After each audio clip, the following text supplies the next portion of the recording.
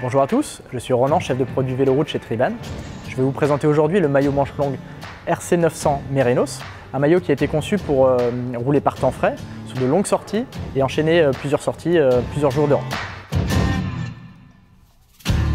Nous avons opté ici pour une matière composée à 70% de laine Merinos, qui est excellente en termes de thermorégulation, c'est-à-dire qu'elle va très bien garder la chaleur tout en permettant une bonne évacuation de la transpiration.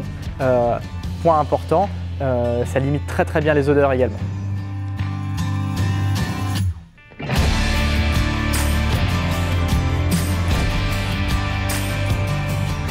Pour augmenter encore la respirabilité, nous avons inséré du mesh sous les bras et dans le dos, le long de la colonne.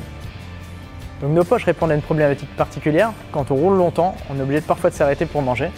Donc on a une petite poche ici en accès rapide qui est vraiment très pratique.